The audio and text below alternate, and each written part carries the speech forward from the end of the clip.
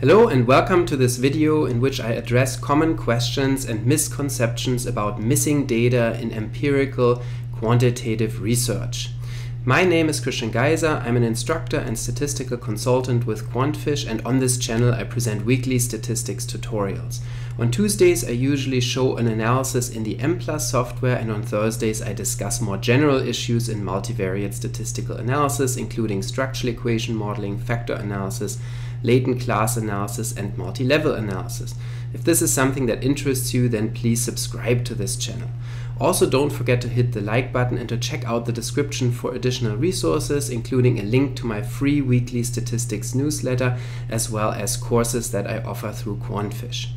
So in this video, I want to address some very frequently asked questions about missing data. Missing data is something that almost all quantitative researchers have to deal with. For example, when you assess questionnaires, there will be questions that some respondents will not provide answers to. When you run a longitudinal study or repeated measure study, then some individuals may not return to subsequent assessments, so they might drop out of the study over time. And then the question arises, what do you do with missing data? Some people will just simply automatically delete cases where you have missing data and say, I will just focus on complete cases and then um, this is more valid because then I'm only using the people who really provide data. However, as I will show in this video here, this is actually in fact highly problematic and it's much more problematic than including cases with missing scores in your analysis. So let's first of all talk about why missing data pose a problem. So what is the problem when you have when some of the individuals are missing some of the scores? And so the most basic and most intuitive issue that arises from missing data is that your sample size gets reduced and the information that you have to estimate statistical parameters or estimate um, p-values, tests of significance, confidence intervals from the data, the information is reduced because you don't have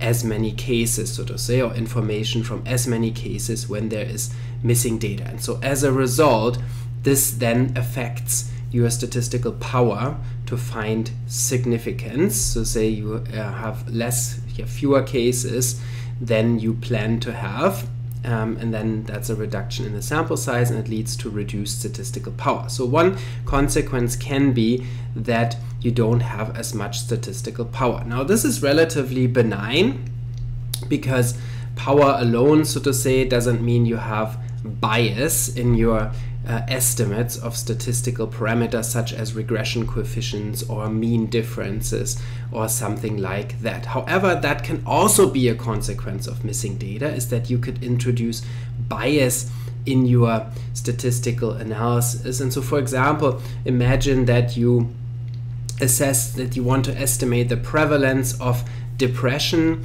in the general population. So you give people, you select a sample, you give people a depression questionnaire, you send it to them at home and you wait for it to come back. And then those individuals who are most depressed, they don't um, get out of bed, so to say, and they don't send you the questionnaire back. So then obviously that will introduce bias in your estimation of the proportion of individuals in the population who suffer from depression because the most depressed indiv individuals or some of the most depressed individuals just simply because of their depression were not able to fill out this questionnaire put it in an envelope and send it back to you. And so then obviously then you have a biased estimate and not just a loss of statistical power but your bias in your estimate of the prevalence of depression. So that's also something that can happen due to missing data and that's obviously that's more severe than having reduced power because reduced power could be addressed by collecting a larger sample to begin with. However, the bias that arises from uh, from the problem that the, the very people whose construct you're interested in do not respond. That is something that is more problematic. So those are so say the key issues with missing data. Now, what happens when you do when you do what a lot of people do and you throw away all cases that have missing data or some miss, some missing scores then obviously what happens is you're making a more restrictive assumption about what's actually happening so say what the missing data mechanism is and that's the key thing so say to consider first is many people think about simply about okay what should i do with missing data? Is there a general rule? Is there a cutoff? So say as to how many missing scores per person are admissible or are allowed and uh, something like that. But that's actually the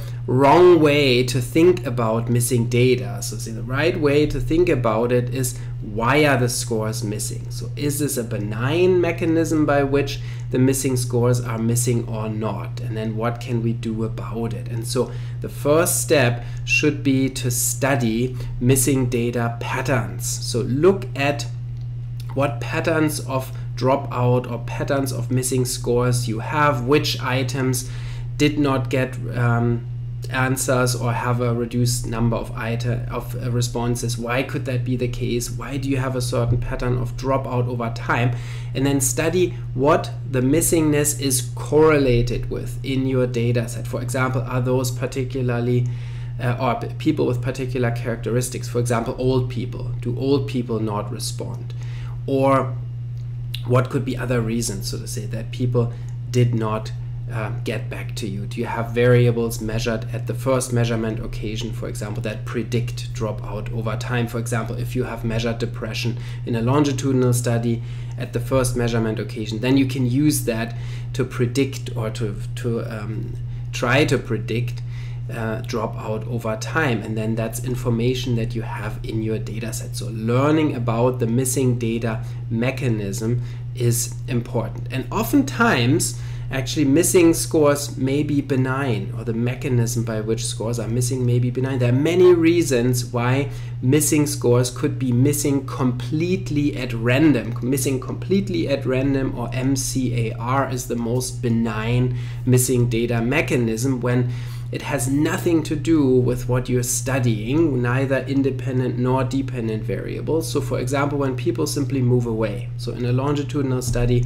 some people will just simply move to another state, they will no longer be available to participate in your study, and that could be completely benign because the reasons for which they moved may have nothing to do with your study, or people may have gotten sick um, on the day of the assessment and they can't come simply because they got a cold. And so then if that is unrelated to what you're studying, then also that's missing completely at random. It is a completely benign scenario. Another relatively benign scenario is so-called missing at random data, not missing completely at random, but missing at random or MAR, M-A-R. That's a scenario where the where you have the information about why people dropped out. And one example I already gave. So for example, when people drop out of a study because they are depressed, so in a longitudinal study, they are no longer present at later time points, but you have their initial depression scores. So then you can um, predict dropout. And so then you have information about why people are dropping out. You have that knowledge based on so-called auxiliary variables. Sometimes age predicts dropout or other variables. And so it is a good idea to include a lot of variables in your study to begin with that may later on be missing data auxiliary variables or missing data covariates where they can predict dropout. If you have those variables, then you are in a position, or at least in a better position, to establish the benign missing at random mechanism. So then, even when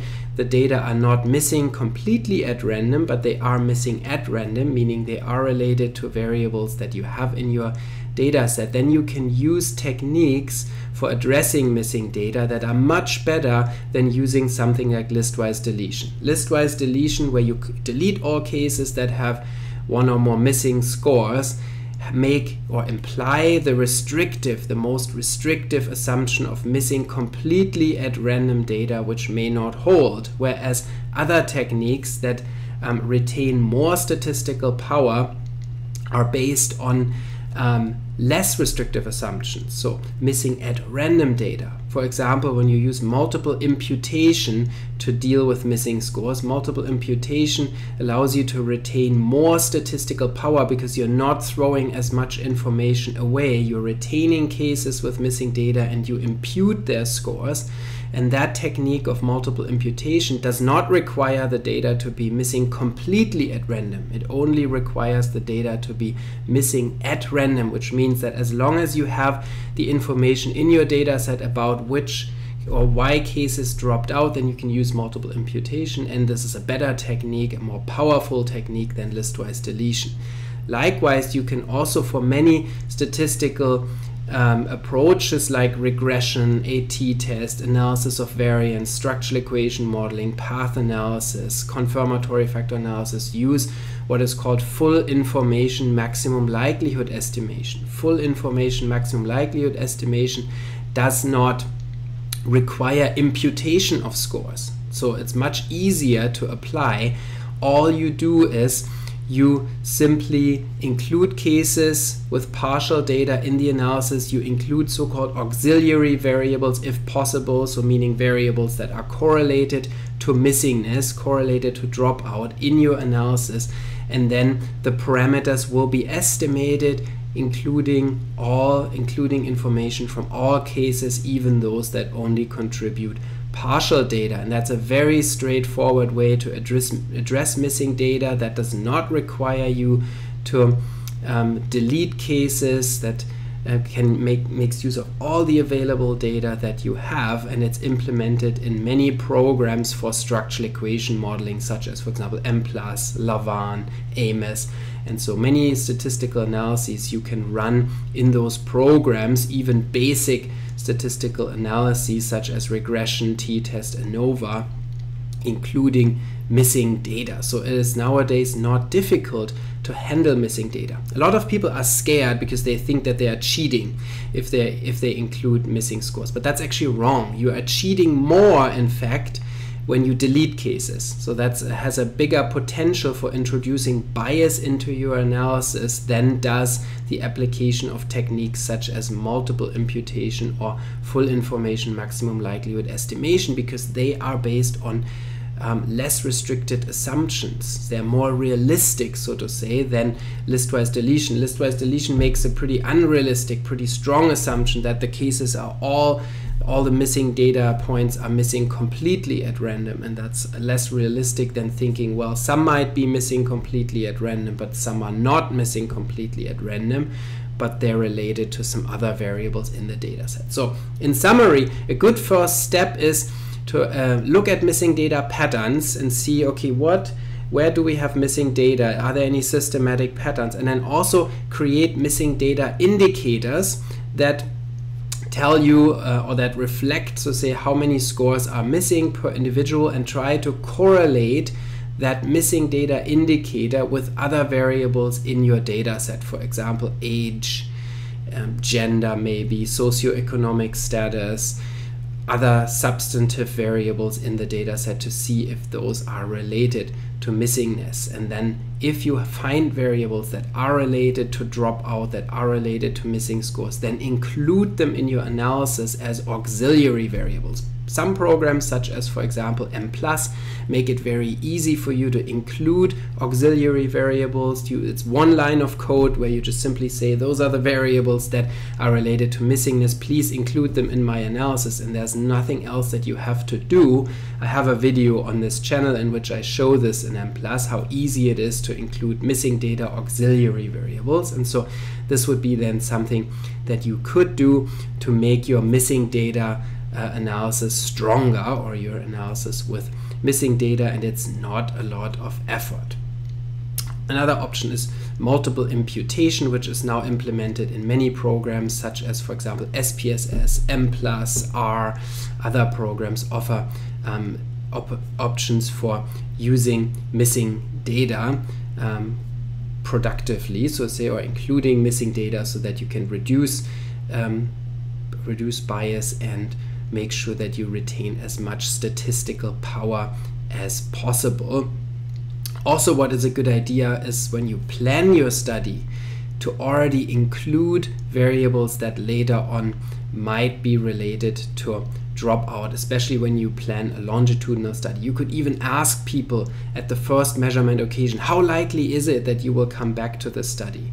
And then you can let people rate it. And that's often something that helps you later on because if people are already saying at the beginning well it's not so likely that i'll do this again then you have an auxiliary variable right there that you can later on include in your study. So in summary don't follow, so say, old school rules of thumb about cutoff values for missing data. Those are all nonsensical. There is no cutoff value. There is no, it's not about, so say, how much missing data you have. It's about what the mechanism is. That's the important part. And then try to find out what the mechanism is use modern methods for addressing missing data such as multiple imputation or full information maximum likelihood estimation and then you are better off than when you use methods like listwise deletion or something like that. Also, what is also highly problematic are um, single imputation methods. So for example, putting in the mean, that's something that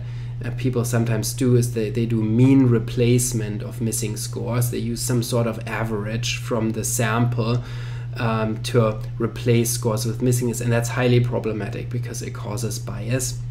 And so that's not something that you should do. So you should use modern methods for handling missing data, multiple imputation, full information maximum likelihood. Like I said, those are now widely accepted. There are so many papers out there that you can refer to and books where you can say this is the state of the art. See, for example, Craig Enders' um, book on applied missing data analysis or see Schafer and Graham. You can find some references below in the description and so you can refer to those and there's really not um, th there's not a, a reasonable reason to disagree with that. That's now also an established fact. So use those me modern methods and don't be scared of missing data. Don't throw your data away because that is the worst option that you have. I hope you liked this video to learn more about missing data handling. If you did, then please hit the like button. Please subscribe to this channel and don't forget to check out the description for additional resources, including courses that I teach through Quantfish, and